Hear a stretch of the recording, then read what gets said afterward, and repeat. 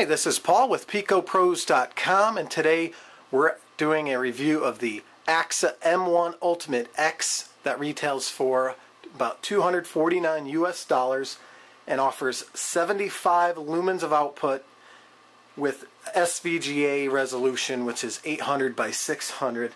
This unit, as you can see from our unboxing video, is very small, very compact, very well made. Uh, it has an aluminum uh, housing, has multitude of inputs uh, for VGA, composite video, these kinds of things. So check out that unboxing video for the full details of the unit. It's a really nice unit, and for only 249 US dollars, a really, uh, really good value. It looks like in this space. Again, it's it, it's about the size of your palm. Uh, it's lightweight, yet it's rugged enough to put in your bag, not have to worry about it getting scratched up. Uh, this is an LCOS-based projector with LED light source. Um, really nice unit. And so we're going to do a review of it today with a couple videos, just give you an idea how it performs uh, in person. So actually, uh, it's pretty unique. Right now, we're actually doing a live Ustream from our Pico Pros site. So this is the first time we're actually doing that live. So it, it was kind of ad hoc, meaning we didn't really give anybody heads up. But hopefully, a few people get to see the review live while we're actually taping it for the website. So it's really interesting. Uh, hopefully, I don't get distracted one way or the other. But uh, we're going to give it a shot. So the first thing I want to do is actually show you on the top of the unit there's a menu a touch sensitive menu. I, I, I, don't think that shows up on the camera. Let me see if I can angle down so you can see these uh, LEDs or well it's backlit touch sensitive display. So let me get the camera back in the right spot for you. But those touch sensitive buttons uh, allow you to navigate different menus. So I can show you the main menu looks like this. Just angle it up just a tad more. So there you go. Here's the main menu where you could do things like uh, set up the unit, uh, USB connection, the SD memory card slot. It does have a, it comes with a 2 gigabyte uh, SD memory card, as well as you could do the VGA input or the AV input or composite video input, as well as, a, a, again, a USB device. Let me just rotate that like that. So today we're actually going to use my iPod Touch second generation as the video source. So I'm going to navigate down to AV input. And right now it says no signal. But what I'm going to do is actually fire up. I'm going to fire up Astro Boy. We've shown this once or twice before.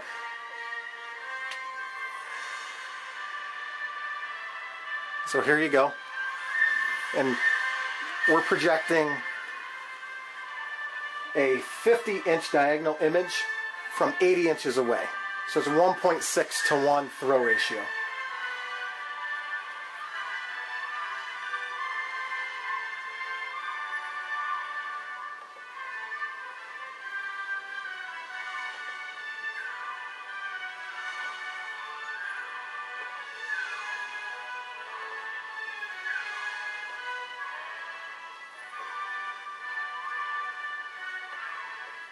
So you can see this is the intro, the, the embedded speaker in the unit is real nice. Floating peacefully in the sky, Metro City, the jewel in the crown. Beautiful, isn't it? But how did we get here? A century ago, the founders of Metro City, seeing our world was changing, took Mount Sophia and lifted So hopefully this is showing up on the webcam. Right now I'm mostly concerned about doing the right video for the website, but I wanted to try something new with the Ustream feed. And so on my LCD, right now the colors, even in person, are kind of muted. So I'm actually going to, oh, there you go, there's some colors. So you can see the blues show up real nice.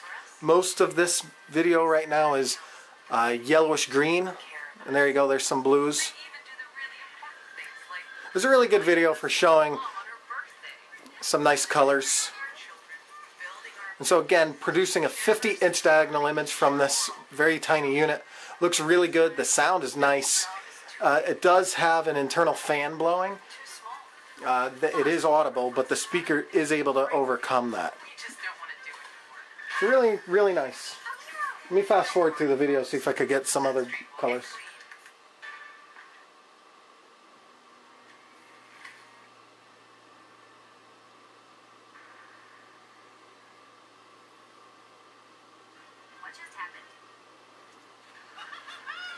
Here you go. See the humans' faces.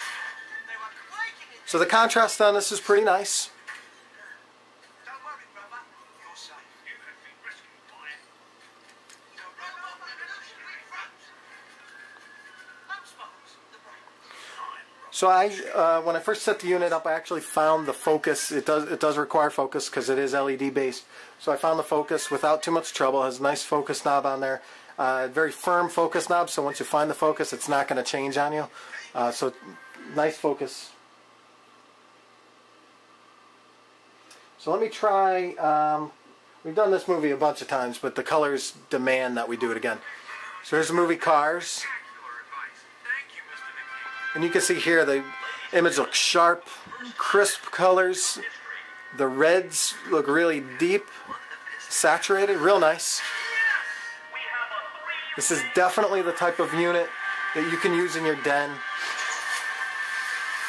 Definitely portable enough to bring to an office setting or a coffee shop if you need to give a presentation. Um, given its uh, lumen output, it can definitely handle some ambient light, and I'll show you right now. So I turned on a pretty bright light for this room, and you could definitely see the image. Colors look real nice even in ambient light.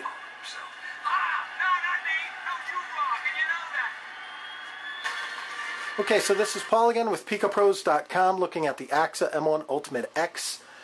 Uh, we signed off real quick just to take a look at the volume adjustment and uh, took about five minutes there or so to try to figure out the volume adjustment and honestly I couldn't figure it out right away so I just disconnected the sound inputs on the composite video. So that'd be my one gripe with this unit is that it's not intuitive to adjust the volume. It could be a very simple procedure. I just could not figure it out right away.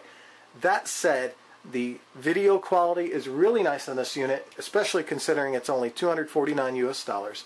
And again, the resolution looks real good. Hooks up to the iPod uh, that I'm using right now just fine. I had a little issue with my own uh, software on the iPod, but uh, that's neither here nor there. It works really nice. So I'm going to do one last video. We looked at it two already. I'm actually going to use the again the composite video for my iPod. So I'm going to go to AV in. There we go. Let's go. I got big fingers apparently. Okay, AV in. It's going to say no signal, but I'm going to pull up a cartoon that my son likes called Special Agent Oso. And that, now we have no sound because I disconnected the audio on this. But uh, you can see the greens and the purples and the blues look real nice. So again, this is an animated cartoon. Looks real nice. The contrast looks good. You can see the black there with the white. Real nice. Real nice unit. And again, for only 249 US dollars at SVGA resolution, which is S, uh, 800 by 600, a multitude of inputs, VGA, composite, USB, uh, internal memory of 2 gigs, and it comes with that uh, flash SD memory card. Comes with a tripod mount on the bottom of the unit. Really nice, rugged, small unit that you could take around. Very impressive unit. Very impressive unit. And so we're going to do a full write-up of this. Again, check out the unboxing video on Pico Pros as well. And we'll link to that in the article. Uh, but overall, this is a really nice value for only 249 US dollars. So I'm going to leave it there, and we'll check in soon with you. Again, this is Paul with PicoPros.com looking at the Aaxa M1 Ultimate X uh, that retails for 249 US dollars. Thanks.